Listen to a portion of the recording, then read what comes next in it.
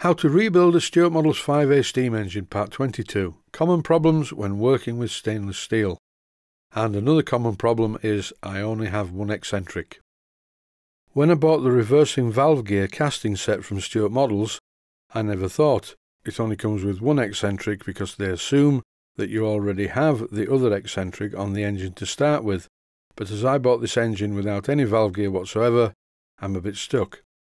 I've ordered the part from Stuart Models, but for some reason it hasn't arrived, which is most unusual.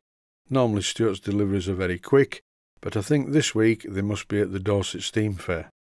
Anyway, I've got plenty to be going on with to keep me occupied, and I'm pleased to say there is quite a lot more model steam work in the pipeline. To continue with the Stuart 5A rebuild while I wait for the parts to arrive, I'm going to make some studs. Now you may think, oh no, this is going to be really boring, and perhaps it is. So suppose you could always go out and get yourself a tattoo. That was a reference to something that I said in the last video near the end. But for now, back to this video. What I'm doing at the moment is adjusting the position of the die in the die holder and making sure that the die is fully expanded. This is a 2BA die, and it's just what I need to cut the threads on the end of these pins that hold the valve gear together. And in this clip I'm showing you a very simple and logical and easy way of marking the end of the pins so that you know how long the thread needs to be on the end of the pins. And this may seem quite simplistic, but it works. A bit like me really, I'm simplistic, but I work also. And now it's time to thread the end of the pin. I'm using some of my special lubricant. This is my steam oil, rapeseed oil and machine oil mixture, and I'm doing this job entirely by hand.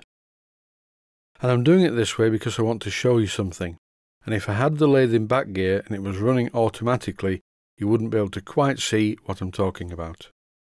As the die advances down the piece of steel cutting the thread, you can see how the swarf is accumulating around the front of the die.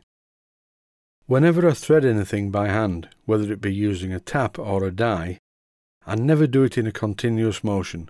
You will see that I do a couple of rotations in a positive direction and then I back off the die to clear the swarf. It's most important to get a really good quality thread, not one that's all chewed up and chavelled. And as a beginner, I really struggled with this. I used to make some terrible threads.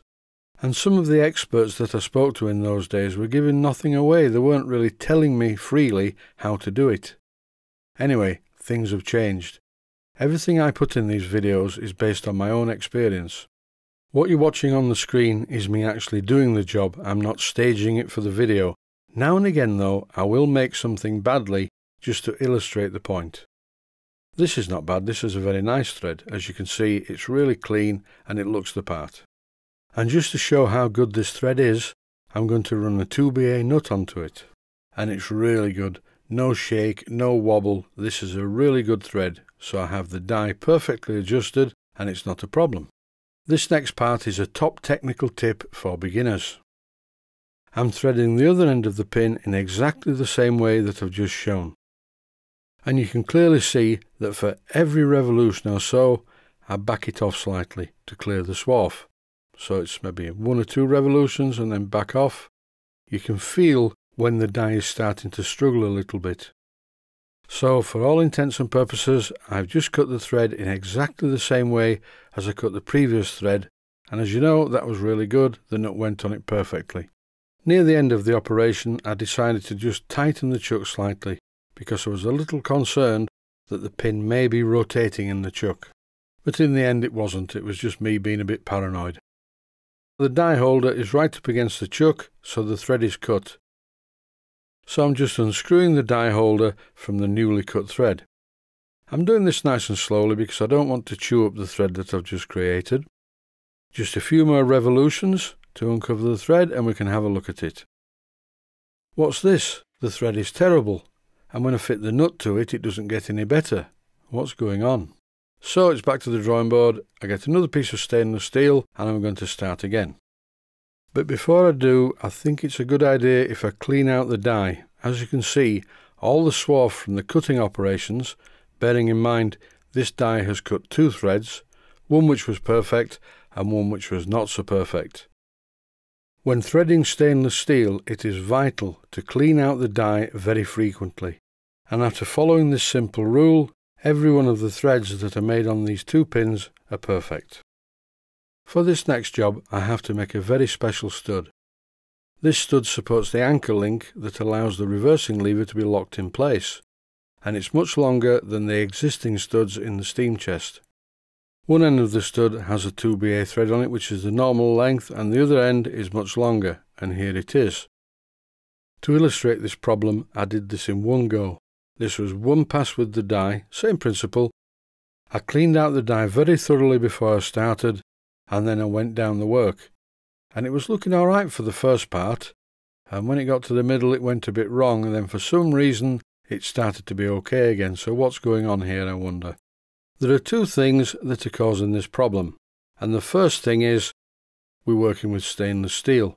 Stainless steel is a very strange kind of metal and it work hardens very quickly. If you drill stainless steel and don't keep the drill moving by applying a constant positive pressure, the stainless steel will work harden and then the incredible amount of friction will cause the metal to start to glow red and the drill bit will also glow red and immediately stop cutting and that is a drill bit ruined. So you may be thinking, why am I talking about drilling? Well, I'm not, I'm talking about work hardening. And what's happening here with the die is that it's filling up very quickly with work hardened stainless steel. And then in no time at all, apart from the die cutting the thread, the work hardened pieces of stainless steel also try to cut as well, but they're not going to cut a thread, they're going to destroy any thread that you've already cut. At the beginning of this section, I said there were two reasons why the thread was being destroyed. It's the work hardened pieces of stainless steel that are not getting away and instead are destroying the thread. But the other reason is a 2BA thread is quite a coarse thread, so the chippings coming off the piece of steel are quite large, and the three holes in the die are unable to contain this quantity of swarf. If you're cutting a piece of stainless steel that is a finer pitch thread, for instance quarter by 40 or quarter by 32, then it's a little bit different. The chippings are a lot smaller and they do tend to fall out of the holes. But as you can clearly see here, most of the pieces of swarf that have been cut from the stainless steel, which are now work hardened, are staying firmly in the three holes in the die. And potentially this can damage the thread.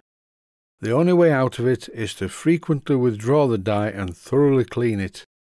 Get rid of all the swarf in the holes and then put some more lubricant on and go back in again to cut the rest of the thread. This is 3 16 of an inch diameter stainless steel, and I find the best way of cutting successful threads over a longer distance, like 3 quarters of an inch, is to do it a quarter of an inch at a time. After every quarter of an inch, withdraw the die, thoroughly clean it, then apply more lubrication to the existing thread that you've cut, run the die down another quarter of an inch, and after that, once again withdraw the die, clean it thoroughly, and as before always lubricate the existing thread before reintroducing the die.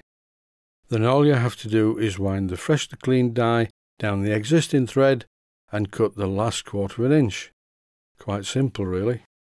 I'm fairly confident that I will get lots of comments on this from experts. And yes, I am aware there are many different types of die holders and many different types of dies.